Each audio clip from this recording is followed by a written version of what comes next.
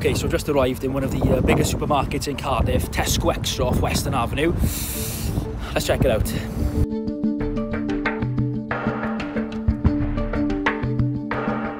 So this time last week there was no hand soap, really there was no hand sanitizer.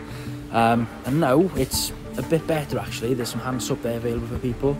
Um, still no alcohol gel, but in terms of restocking the soap, it's a bit better than what it was. Still not much though. Another foodstuff which was in short supply was bread, of course. Bread now is uh, once again pretty well stocked. Um, you see it's taking a bit of a dent still, but once again nowhere near as empty as it was this time last week.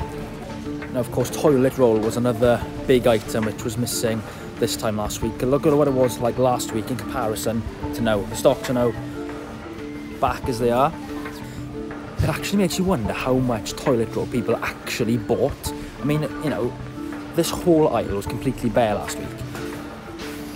Back in stock now. So most items are back in stock.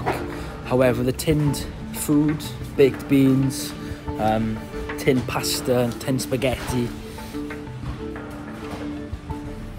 are still looking pretty low actually here at the moment.